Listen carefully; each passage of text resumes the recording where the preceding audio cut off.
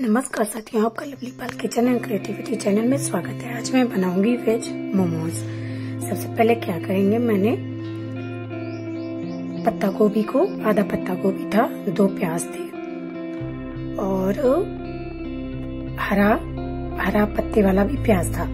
सभी को चॉप कर लिया। चॉप करने के बाद में एक बर्तन में रख लेंगे। रखने के बाद में क्या करेंगे, इसको 10 मिनट के लिए छोड़ देंगे। छोड़ने के बाद में इसमें थोड़ा नमक ऐड कर देंगे। नमक ऐड करने के बाद में इसका जो पानी होता है, उसको अच्छे से निचोड़ लेंगे। टाइट हाथों से, ये देखिए। ये कितना पानी निकल रहा है।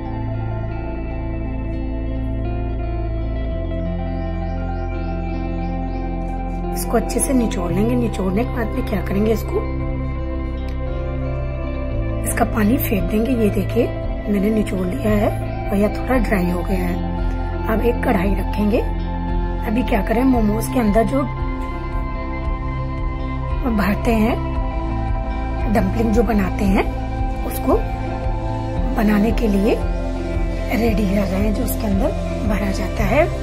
सारा बैटर वो, वो तैयार कर रहे हैं। अब कढ़ाई रखेंगे। कढ़ाई में थोड़ा सा तेल डालेंगे। तेल डालने तेल गर्म हो जाएगा तो उसमें जीरा डालेंगे हींग डालेंगे, हींग डालने के बाद में जो पत्ता गोभी था, प्याज था, उसको इसमें सारी चीज़ को ऐड कर देंगे।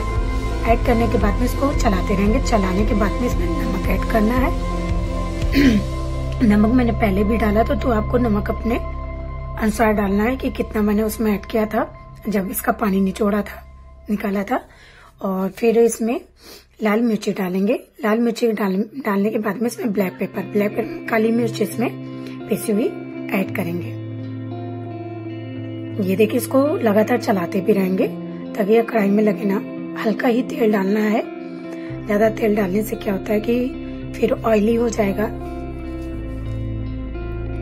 अब इसमें सोया सॉस दो बड़ी चम्मच डालेंगे।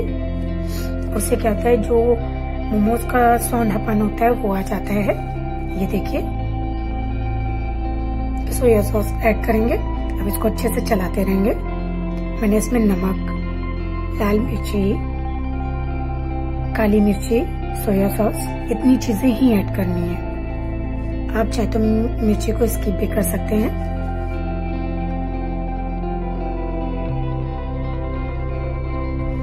ये देखिए। ये बन के देखिए। रेडी हो गई है। अब क्या करेंगे? अब मैदे का डो लगाएँगे। डो लगाने के लिए क्या करेंगे? सबसे पहले हम लोग मैदा लेंगे। दो बड़ी कटोरी मैदा मैदा लेंगे। मैदे में एक चम्मच नमक डालेंगे। नमक डालने के बाद में इसको इसका डो लगा लेंगे। डो को ढीला नहीं रखना, डो डो को टाइट ही रखना है। डो को अब एक पन्नी में करके रख देंगे। ये देखिए, पन्नी में करके रख दिया। ये अब सॉफ्ट हो गया। अब क्या करेंगे? मोमोज बनाना स्टार्ट करेंगे। ये देखिए छोटी छोटी लोई काट लेंगे। लोई काटने के बाद में इसको बेलेंगे छोटा छोटा ये देखिए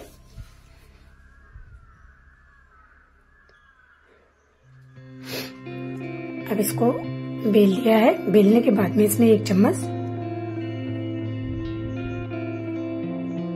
जो भरना था, ये देखिए डम्पलिंग में। डम्पलिंग के लिए जो तैयार किया था, उसको एक चम्मच इसमें ऐड कर देंगे। आप चाहे तो इस तरीके से, जैसे मैंने दोनों हाथों से चुन्नट बनाई है, वैसे भी आप बना सकते हैं, वैसे नहीं तो मैं आपको एक और दूसरे तरीके से बता रही हूँ, जो सबसे इजी प्रोसेस होता है। उस तरीके से आप सारे मोमोज बना लेंगे। ये देखिए, गोल लोई बेलेंगे। ये देखिए छोटा छोटा बेल लिया इसमें एक चम्मच। डम्पलिंग के लिए ऐड करेंगे। ऐड करने के बाद में ये एक चूड़ी दो चूड़ी ऐसे लगातार चूड़िया बनाते रहेंगे। बनाने के बाद में क्या करेंगे इसको? इस तरीके से कर लेंगे। स्टार टाइप में भी बना सकते हैं आप।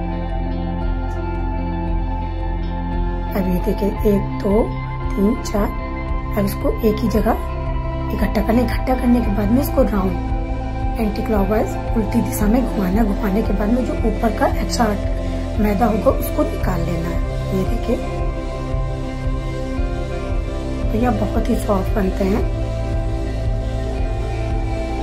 सारे मोमोज इसी तरीके से तैयार कर लेंगे। ये देखिए।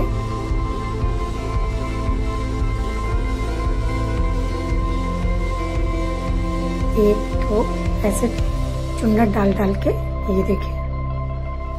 इसको पकड़ लेंगे सभी को और फिर इसको उल्टा घुमा देंगे। घुमाने के बाद में जो एक्स्ट्रा मैदा है उसको निकाल लेंगे। फिर इसको रख देंगे। मेरे सारे मोमोज बनके तैयार हैं। मैं क्या करूँगी? मोमोज पैन है जो, उसमें पानी लूँगी। ज़्यादा पानी नहीं लेना है। फुल नहीं करना है आपको, आधा पानी करना है, उसमें नमक को ऐड कर दिया। नमक ऐड करने के बाद में जिसमें मोमोज को रखना है, मोमोज पैन है, उसमें तेल लगा लेंगे चारों तरफ़। तेल लगाने के बाद में क्या करेंगे, अब जो मोमोज मेरे बन चुके हैं, उसको इसमें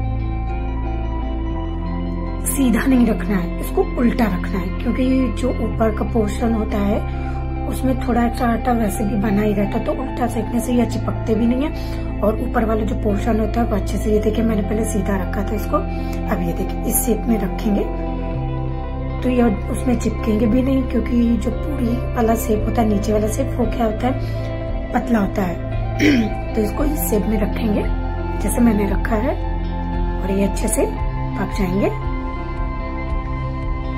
इसको नीचे तेल से ग्रीस करना है। अब देखिए इसको 15 मिनट बाद खोलेंगे। ये देखिए आपको अंदर का जो मसाला है सारा दिखाई दे रहा होगा। मोमोज में जो अंदर डम्पलिंग भरी हुई है, सारी, ये देखिए ट्रांसपेरेंट्स हो गए हैं। मोमोज बन, अब इनको ठंडा कर पाँच मिनट के लिए ठंडा होने के लिए छोड़ देंगे। छोड़ने के बाद में क्या करें? इसको प्लेट में सर्व करेंगे। मैंने इसके पहले मोमोज की चटनी बनाना बताया ये इसको मोमोज की चटनी के साथ, मेयो के साथ में किसी के साथ भी खाइए। बहुत ही अच्छे लगते हैं। इसको एक प्लेट में निकाल लिया। आप लोग भी इस तरीके से बनाइएगा।